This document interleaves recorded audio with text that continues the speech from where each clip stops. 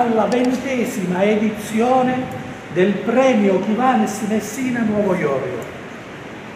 Questo nostro premio viene assegnato annualmente ad un messinese o ad una messinese che si sia particolarmente distinto o distinta a livello nazionale in un qualsiasi campo recando lustro alla nostra città sua terra di origine. Quest'anno il premio sarà Lelio Bonaccorso, personaggio molto noto alle cronache messinesi per il suo impegno a favore della città di Messina, eh, con un forte credo nella possibilità di rinascita di questa città, agganciato alla ricongiunzione delle radici della, della, della città sua, col suo passato, ma non in senso nostalgico come spesso avviene negli ultimi tempi, ma come diciamo, forza propulsiva per poter avere attraverso quella che è la consapevolezza del proprio passato la possibilità di costruire un futuro altrettanto importante. È stato scelto il dottor Lelio Bonaccorso,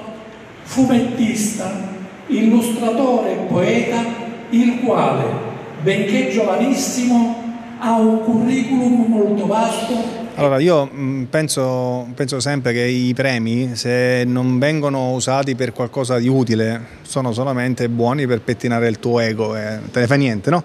Per cui sono molto felice sicuramente diciamo, di ricevere un riconoscimento come questo, mi fa molto piacere e onore, ma mh, mm, bisogna renderli concreti poi nella vita quotidiana, altrimenti io sono un fautore del, del, dell'arte come... Eh, che abbia un forte valore nella società, altrimenti è monca, no? arriva solamente a metà.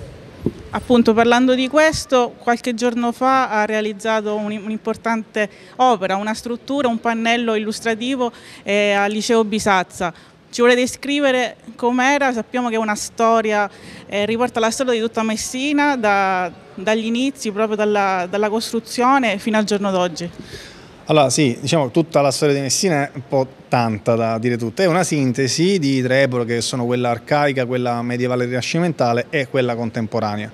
E, ehm, avevo l'idea insieme alla dirigente Giovanna Messina di realizzare qualcosa che comunque non fosse solo puramente decorativo, estetico, ma che arrivasse anche a chiunque, soprattutto i ragazzi che frequentano quella scuola, perciò attirare con queste immagini, con queste narrazioni, in un flusso temporale appunto che, che va a incarnare queste tre ere, divise appunto all'interno di una struttura narrativa che non è esattamente fumetto, ma comunque ha un'immagine molto diciamo, accattivante per la, le, le, i più giovani. E la, la, caratteristica è che ovviamente è un pannello di 12 metri alto per 4,20 m, per cui ha la sua possenza. Ecco. All'interno sappiamo che c'è anche una dedica speciale che ha voluto fare a Franz Riccobono. Certo, Franz è un mio amico, è un mio amico, mi spiace molto che insomma, non sia tra noi perché eh, non solamente a me, ma tanta gente manca andare nella sua, sua, nella sua dimensione in realtà perché varcavi quella soglia era qualcosa di incredibile, però mi piace pensare che comunque lui sia veramente con noi e mi sembrava giusto, avevo molto piacere a metterlo affacciato sulla diciamo, l'approdo della palazzata, no? davanti alla palazzata, perché secondo me è lì che ci sta aspettando. Progetti per il futuro?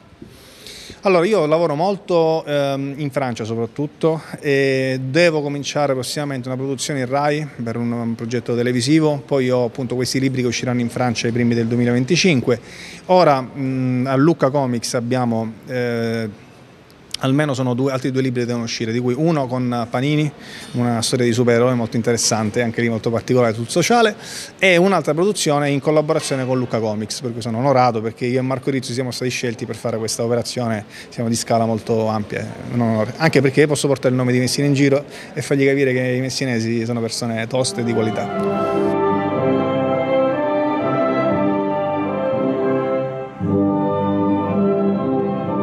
L'organizzazione Kivanis eh, serve soprattutto per aiutare le nuove generazioni, anche e soprattutto i bambini, per eh, vivere al meglio. Ci può parlare un po' di questa organizzazione, come nasce, come si struttura? Sappiamo che è un'associazione internazionale. Sì, è un'associazione internazionale che nasce ai primi del, del primo decennio del, nel secondo decennio del Novecento e sostanzialmente al, al, momento ha la funzione di ehm, organizzare tutte le proprie risorse, le proprie energie nel, allo scopo di poter ehm, aiutare i bambini in senso generale nel mondo. Il motto del Kiwanis infatti è Serve the Children of the World e aiutare un bambino alla volta appunto nella, nella sua possibilità di svilupparsi in tutte le sue potenzialità.